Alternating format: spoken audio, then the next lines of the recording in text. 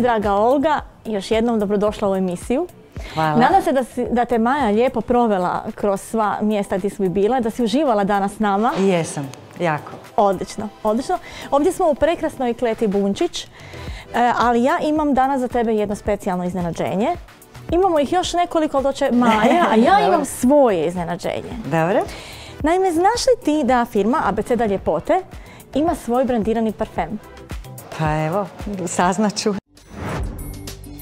Parfem Abeceda ljepote predstavlja mnogo više od dodatka odjeći koju nosimo, već zaokružuje cijeli styling poslovne žene ili poduzetnice, dajući osobnu notu opisa osobe koja ga koristi.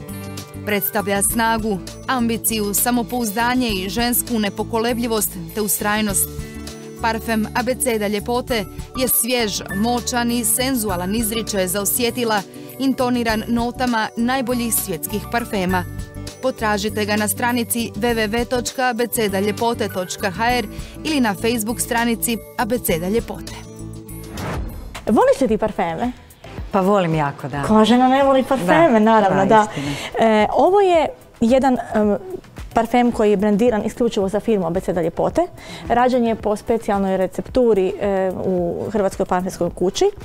E, parfem Abeceda Ljepote se zove zato jer smo ga brandirali samo za firme, e, samo za našu firmu, nemamo ga u komercijalnoj prodaji. E, parfem se sastoji od cvjetnih nota, nadam se da voliš ovako malo cvjetne, sad je Volim već onako već malo lagano na, na zimske, na jesenske tonove, ali zapravo ovako, ovi su tonovi uvijek dobri. E, kaže e, parfumeristika i parfumeri kažu da se parfem nosi. Ono kad, i- kad si staviš nešto na, na sebe, staviš si i parfem. Parfem isto nosiš. Istina. E, pa ću ja sad tebi pokloniti jedan ovaj naš parfem, da ti njega nosiš e, onako svaki dan sa izuzetnom ljubavlju. Izvoliš? Hvala lijepo. Molim.